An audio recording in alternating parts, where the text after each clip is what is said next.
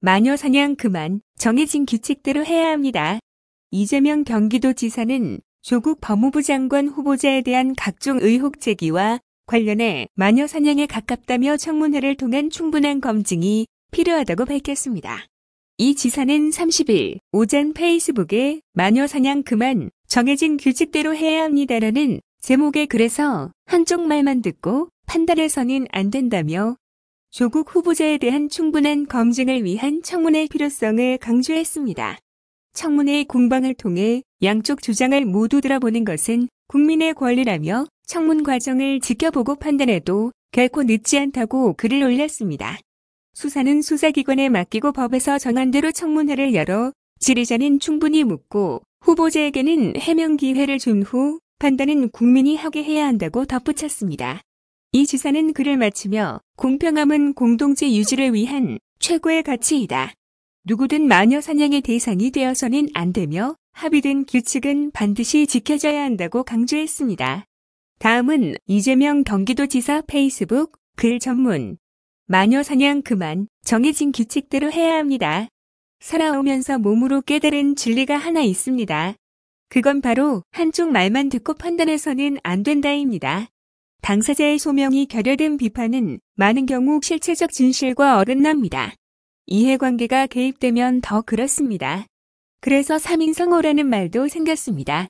조국 후보자를 둘러싼 지금의 상황은 비이성의 극치인 마녀 사냥에 가깝습니다.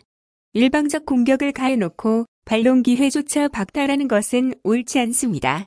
청문 절차에서 묻는 것은 지르자의 권한이지만 답하는 것도 후보자의 권리입니다. 수시로 일일이 답할지 청문회장에서 한꺼번에 답할지도 답변자의 몫입니다. 무엇보다 청문회의 공방을 통해 양쪽 주장을 모두 들어보는 것은 국민의 권리입니다. 시간은 충분하고 국민은 충분한 판단 능력이 있습니다. 치열한 청문 과정을 지켜보고 판단해도 결코 늦지 않습니다. 청문회를 해야 할 또 하나의 이유는 그것이 우리가 합의한 규칙이기 때문입니다. 규칙 준수는 공동체 유지를 위한 최소한의 장치입니다. 유불리에 따라 지키거나 안 지키고 규칙을 만든 사람조차 어기면 누구에게 규칙 준수를 요구할 수 있겠습니까? 사람이 하는 일에는 금도라는 것이 있습니다. 청문회는 국민이 맡길 공적 책무를 해내기에 적합한지 보는 곳이지 증거로 실체를 규명하고 죄를 묻는 장이 아닙니다. 수사나 재판도 아닌 청문회의 당사자가 아닌 가족을 끌어들이는 건 지나칩니다. 가족 증인 문제로 법이 정한 청문회를 거부하는 것은 그 목적이 정력이라는 오해를 사기에 충분합니다. 잘못이 있더라도 은폐하고 두루뭉실 넘어가자는 것이 아닙니다. 고발하면 수사해야 하니 수사 개시가 청문 거부 사유가 될 수는 없습니다. 수사는 수사기관에 맡기고 법에서 정한 대로 청문회를 열어 지리자는 충분히 묻고 후보자에게는 해명 기회를 준 후 판단은 국민이 하게 해야 합니다. 공평함은 공동체 유지를 위한 최고의 가치입니다. 누구든 마녀 사냥의 대상이 되어서는 안 되며 합의된 규칙은 반드시 지켜져야 합니다. 이재명 지사의 페이스북 전문은 여기까지입니다.